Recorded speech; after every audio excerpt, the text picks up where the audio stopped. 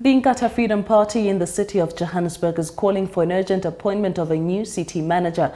Now, this comes after the Gauteng High Court yesterday declared the appointment of Floyd Brink and the position of un as unlawful, unconstitutional and invalid, furthermore ordering that his appointment be reversed. Speaking to Soweto TV News earlier today, IFP Johannesburg caucus leader Lungisi Mabaso says an urgent extraordinary meeting must be held to allow the city's council to carry out its duties and make a decisive resolution on this matter.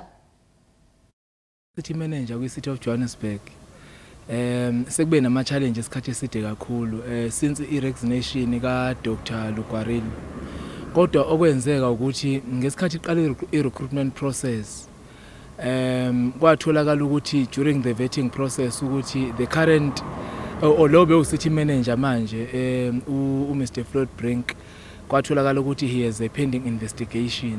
Um lo investigation ke was instituted by i-council um, because of the allegations um, ezayithinta idiya ka-public safety.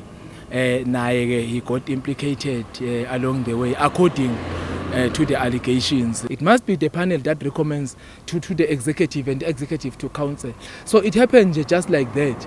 And we did advise them, which you know, but the process that they are engaging on, um, in fact, by, flouter because abalandela ama, pro, ama, ama proper procedures ukuthi kufuneke kurecruitwe u-city manager so we were not surprised in fact by the outcomes of the court um i mean umuntu oyikhansela nje ejohannesburg wazi umthetho was expecting ukuthi i-outcome ibe in favor of a-democratic alliance which is unfortunate ke now because now this thing has exacerbated instability ekhona ku-city and i-administration now ine-instability. Man we are sitting without a city manager.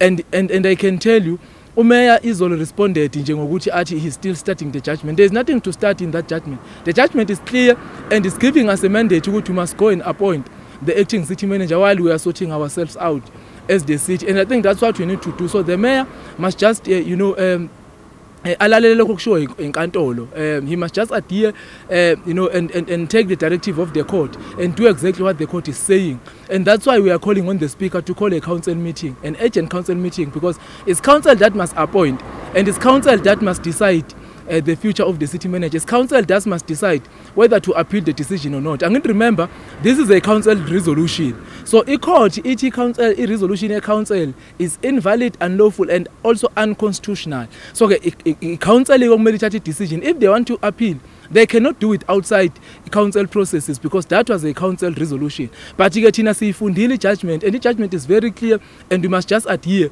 to what the court is saying